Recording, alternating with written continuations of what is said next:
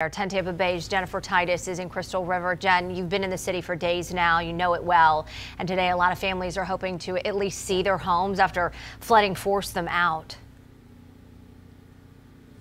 The good news, Caitlin, is that they've made it home now. All of that water has pretty much receded. All of the roadways pretty much open. But take a look at this. This shows you how high the water gets. So look at this fence is literally it's it's it's intact. So the question is then how did that How'd that pontoon get there? The water was so high, literally just came over and plop, plop down right there on the middle of the lawn there. And we're just along here on, along the bay and you can see how high on the other side of the way there, the homes, the cleanup process that now is set to begin for so many here in Crystal River. We've been in home after home over the past hour, two feet of water inside, three feet of water inside.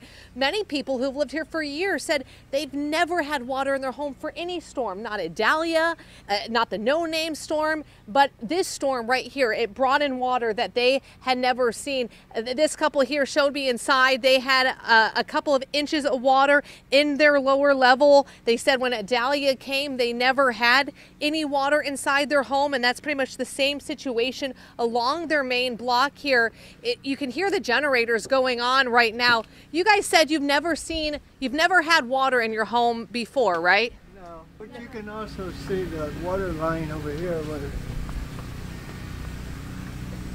on the wall right there. Show us, what, what'd you say? The water line right there is where it got up there, but it never did go in there. But it did go in that way. It, it was, and you guys stayed inside. You guys stayed here. You guys were here when the water was coming oh, through. Sure, sure. We we're trying to protect it the best we can and keep out what water we could.